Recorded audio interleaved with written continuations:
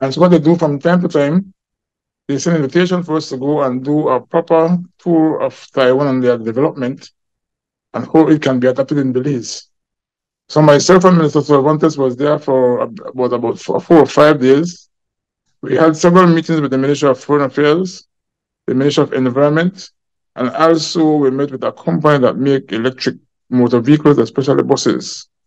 So we're able to discuss with these people to figure out how Belize can fit into their development. I know it's going to be a lengthy process, but it's an eye opener for us as a small country to see what these countries are doing to advance their technology. Maybe what are maybe some of the areas that you would like to see adopted uh, sooner rather than later here in Belize?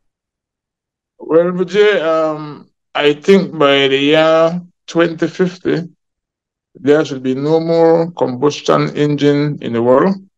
And likewise, the, the more the world may go fully emission free. That is the that is the that, that is what they are thinking about, the entire world. Taiwan has expressed that by 2040, there should be only electric vehicles in Taiwan, and by 2050, they should be emission free. Belize, Belize is a very small developing country, have to consider the options and figure out what is the way forward because it's a very expensive venture to transform your entire vehicle fleet and to allow your, your people to be able to participate and continue to go and, and purchase only electric vehicles maybe after a certain period. Um, so I think Belize policy will have to be adjusted in relation to the tariff that has been put on vehicles. Are going to transform my entire fleet, then you have to find an incentive for those who want to bring in these electric vehicles.